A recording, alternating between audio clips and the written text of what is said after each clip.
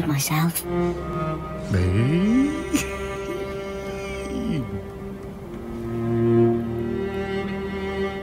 well, I'd like for you to poem.